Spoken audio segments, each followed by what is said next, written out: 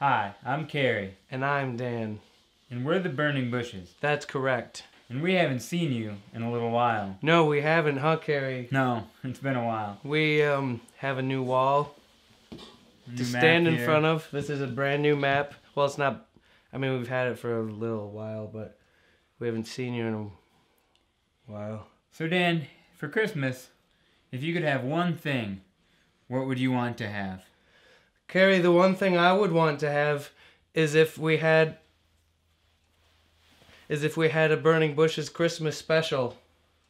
But I don't even know if we would ever have the time or the wherewithal to do that. The wherewithal we do not have to do that. No. But if I could imagine what it would be like, Hmm. hmm.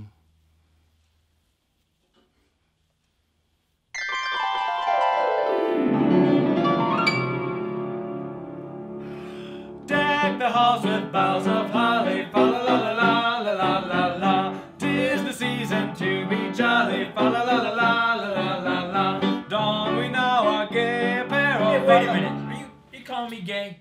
No, it was part of the song. You no, I've never heard that before. you haven't heard you that call part. Me gay. You're a homo if you think you haven't heard that part of the song I can't before. Believe you fucking call you me call gay. Me, you call me gay all the time. You piece of. Come carry. Come get.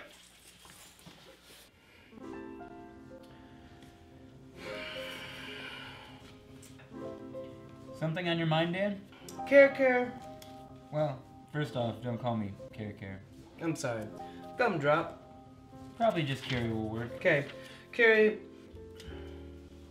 I know it's Christmas time and all, but I don't think we should get each other presents this year.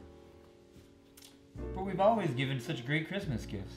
Carey, we have great gifts for each other, but we've got an even greater friendship, and I don't think we need to compromise that with material possessions. Well, if you feel that way, but I mean, I really like giving gifts. I know, Carey. I know you like giving gifts, and I like getting them. But the greatest gift you've ever given me is what's in here.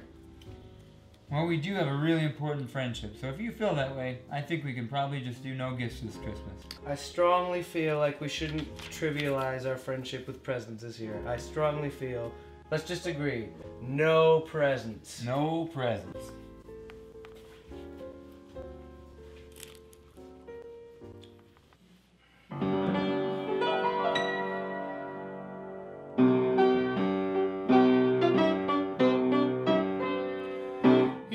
Carey?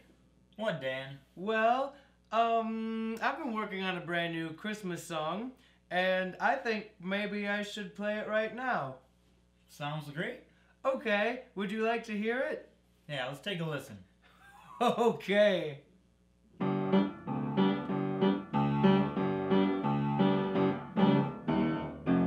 How do you like it so far? Sounds pretty good. So far, it's great.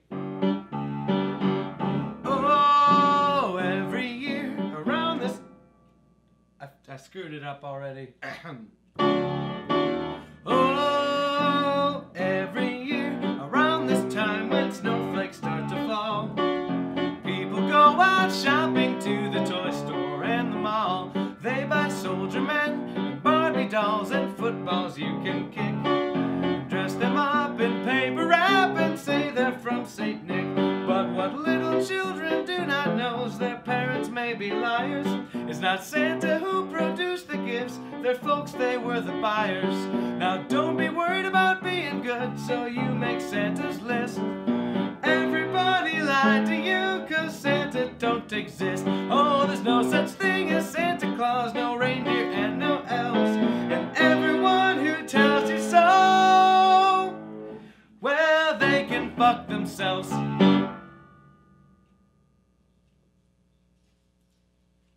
No good? I don't know if that's the direction we want to go. That message. Hmm. Oh, hello, and welcome to another installment of Cooking with the, The Burning, Burning Bushes. Bushes. We are the, Burning, Burning Bushes. so you probably figured. Today, Carey, do you know what we're making? We're ma- Eggnog? we're making eggnog. Eggnog. And what do we all know is an eggnog? Maybe eggs? An egg. One egg. Yeah, because um, well, it wouldn't be eggnog. It would just be nog. With wants just not. not anyone I would want to meet. I would punch them in the mouth. So to make eggnog, the first thing you need to do is you need to crack one egg into a glass. Now, as everyone knows, if you crack it on the edge, it will just send the shell of the egg shooting inside. You don't want that. So crack it on your counter. Well,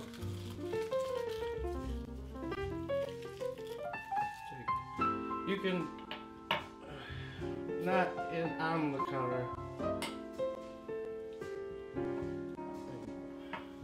Maybe. Yeah, that's good. I am covered in eggshell. Alright, well, Carey, do you know. This is. So, now that the egg is in the glass, I'm going to take my little whisk and just whisk it together lightly. This is called a light beat. Gotcha. A light beat. It's good to know. Now, how many revolutions there do you want to work on that to get the light beat? 1,000. You have to work for stiff points, which is something that happens with eggs after this light beat. And now, do you want to lick my, my beater? No thanks. You don't? Okay. Well, now that I've used my little beater, I'm going to use my big beater just to make sure that my light beat. This one doesn't fit. I don't give a fuck. Carey, do you know what else is an eggnog? I'm not sure. What is the next ingredient? What makes the nog? Hmm. Let me answer that question with a question. Carey, what do I love to drink more than anything? Some anything. Scotch. That is good scotch. This is um, Lauder's Scotch, available at uh, fine liquor stores uh, located in Kmart, um, Walgreens.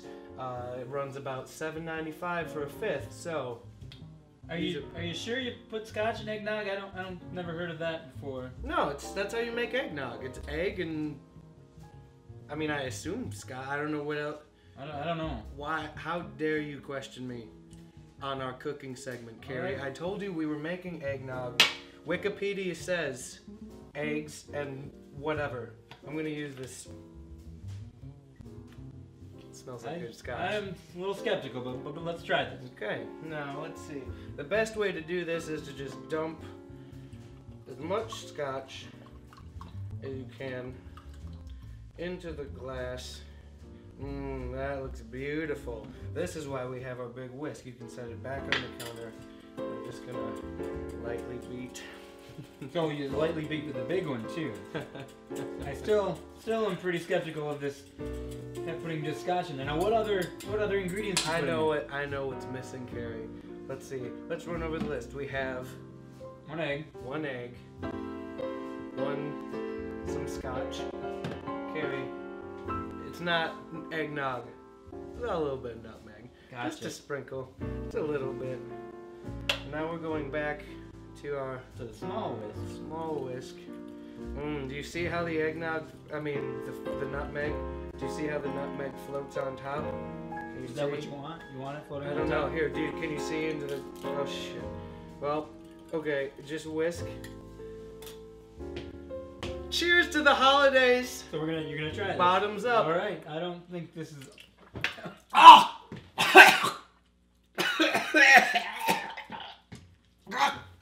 How uh how was it? Gary, I don't like eggnog. I don't think that was eggnog. But you don't have to have it anymore. It was bad. Gary, I don't like eggnog. Uh, I don't really think it was I don't eggnog. But I would maybe maybe seconds. Maybe it'll be better second time. Okay, we don't we don't have to try that again. Gary, do you want some eggnog? I would recommend not not trying this eggnog at home. Oh no. We don't have to have that again. Gary, I don't want to drink eggnog. We don't. No, we don't, you don't have to. Uh, Gary, I don't know if we made it right. I don't think so. I, I'm not pretty sure there wasn't supposed to be chocolate. Was it good? It was it was a festive treat for the holiday season. Thank you for cooking with the burning bushes. Check back later where we'll show you how to make a cream pie.